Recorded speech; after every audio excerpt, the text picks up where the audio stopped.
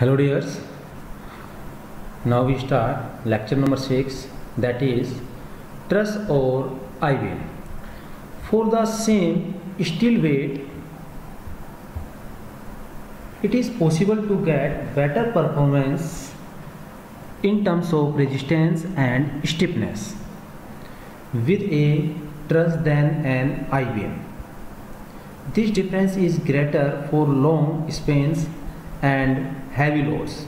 The full use of this advantage is achievable if the height of the truss is not limited by criteria other than the structural efficiency such as a limit on total height of the buildings जैसे कि buildings की आपको अगर ज़्यादा height बनाना है जैसे वर्षों वगैरह आपके पास होगी तो मीन्स वहाँ पर ज़्यादा बड़े हम कॉलम्स या बीम्स या फिर नहीं दे सकते हैं। क्योंकि उसके चांस रहता है कि जैसे कि भूकंप वगैरह होते हैं या फिर मीन्स ड्यू टू वाइब्रेशंस तो उनके अपने पास क्या होता है कि डिफॉर्मेशन होने के चांसेस ज़्यादा रहते हैं, जिससे हो सकता है कोई भी एक्सीडेंट हो सकता है। ठीक है? तो किसी भी कॉलम का, जैसे जैसे मैंने आपको बताया था कि कॉलम के ऊपर टॉप साइड पर जब भी कोई फोर्स लगेगा तो मीन्स जो कॉलम होगा, वो अंडर कंप्रेशन होगा। और जैसे ही आपके पास उसकी कंप्रेशन लिमिट मीन्स उसकी सहन शक्ति जब खत्म हो जाएगी तो वहाँ पर क्या होगा? उसका फेलियर हो जाएगा अपने पास। ठीक है? तो टू अवॉइड सच प्रॉब्लम्स ठीक है? तो जब आपको ज़्यादा हाइट पर मीन्स आपको रूप का डिज़ाइन करना है तो मीन्स वहाँ पर हम यूज़ करते हैं ट्रस स्ट्रक्चर। तो ट्रस एक क्या है? एक स्ट्रक्चर स्ट्रक्चरित है, जहाँ पर with the help of sections या मेंबर्स को हम उनको कनेक्ट करते हैं और किसी भी हाइट पर हम वो एक डिज़ाइन कर सकते हैं, एक स्ट्रक्चर हम बना सकते हैं। तो limit on total height of the buildings however fabrication of a truss is generally more time consuming than for an I ठीक है?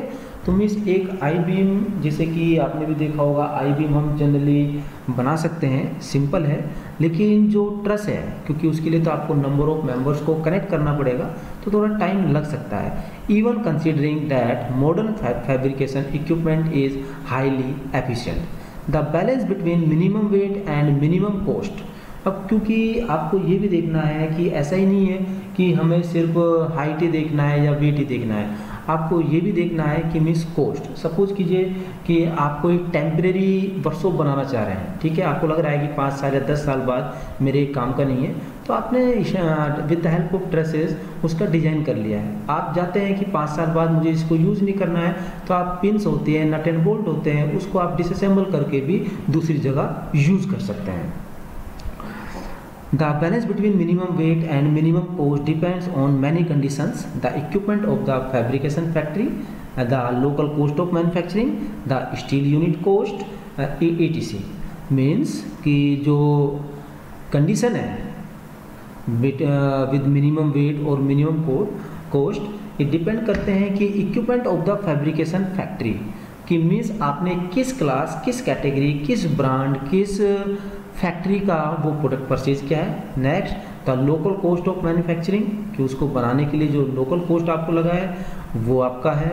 द स्टील यूनिट कॉस्ट जो आपके सेक्शंस होते हैं, वो स्टील के बने होते हैं तो उनकी कॉस्ट क्या है एटसेट्रा तो trusses generally give an economic solution for spans over 20 metre तो मीन्स अगर हम कहें कि on the behalf of economical condition या तो जो ट्रेसेस हैं वो इकोनॉमिक होती हैं मीन्स सस्ती पड़ती हैं ओवर 20 मीटर स्पेन्स ठीक है?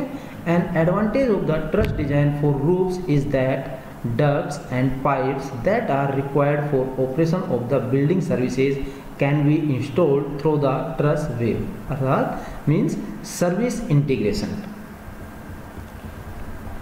Now the general geometry for efficient structural performance, the ratio of span to truss depth should be chosen in the range 10 to 15.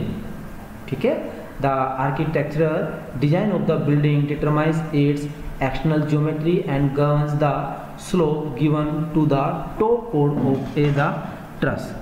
Means जो आप डिज़ाइन कर रहे हैं तो आपको कितना स्लोप आपको देना है, ठीक है with the centre the instead use of the internal space can lead either to the choice of a horizontal bottom code जैसे कि where conveyors must be hung under the code or to an inclined bottom code or to allow maximum space to be provided. Means इतना slope आपको नहीं दे देना है जो truss है उनकी रूप के लिए कि वहाँ पर जो आपके पास है कि जैसे कि कुछ कन्वेयर्स हैं या कुछ क्रेन्स हैं या कुछ सेक्शन हैं, वो इजीली मूव ना कर पाए, ठीक है? तो मीन्स जो डिज़ाइन क्राइटेरिया है, उसी के अकॉर्डिंग जो आर्किटेक्चरल डिज़ाइन के अकॉर्डिंग ही आपको क्या करना पड़ेगा? स्लोप देना पड़ेगा। तो for an efficient layout of the truss members between the code the following is advisable the means कुछ कंडीशंस हैं, जैसे कि the inclination of the diagonal members in relation to the code should be between 35 degree to 55 degree, okay? Second is point load should only be applied at nodes ऐसा नहीं कि notes का जैसे मैंने बताया था कि नोट्स का मीन्स है कि जहाँ पर दो सेक्शंस को ज्वाइंट कर रहे हैं। तो आपको कोई भी लोड अप्लाइड करना है तो नोट्स पर ही करेंगे। मीन्स जो सेक्शन है या स्ट्रक्चर है, उसके कहीं बीच में आप कोई भी लोड अप्लाइड नहीं करेंगे, क्योंकि जो स्ट्रक्चर्स हैं, जो मेंबर्स हैं, उनके बेंडिंग होने के चांसेस ज़्यादा होते हैं अपने पास। Next point is the orientation of the diagonal member should be such that the longest members are subjected to tension ठीक है? The short one being subjected to compression तो मीन्स जो लॉन्ग डायगोनल मेंबर्स हैं जिसमें मैंने आपको diagonal members के बारे में पहले बताया था तो वो ऐसे होने चाहिए कि लॉन्गेस्ट जो मेंबर हैं उन पर सिर्फ़ टेंसाइल लोड लगना चाहिए। और जो शॉर्टेस्ट हैं वहाँ पर हो सकता है कि आ, जो शॉर्टेस्ट होते हैं वो अंडर कंप्रेशन होने चाहिए।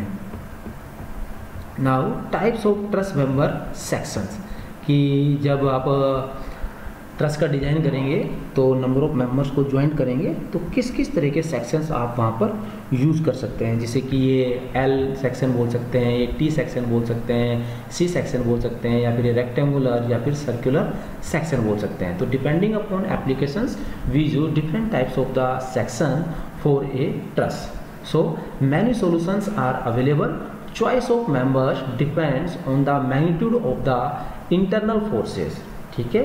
मीन्स कितना फोर्स लग रहा है? Ease of connections between member ताकि इजीली आप उसको कनेक्ट कर पाएँ। Aesthetics and any necessity to connect prefabricated truss section on site ताकि आप उसको इजीली कनेक्ट कर सकें। When selecting members the out of plane buckling resistance will be important together with resistance under reverse loading. For example, uplift. For smaller spans, T sections are frequently used for codes with angles used as internal members. The internal members may be bolted or uh, welded to the T's. Back to back angles or channels may be used for longer spans or heavier, heavier loads with a gusset plate used at nodes to connect the members. For large trusses and heavy loads typically found in transfer trusses in buildings, members may be rolled section. Typically UKC sections, nodes are usually welded. Any necessary connections are completed with bolted splices within the length between nodes.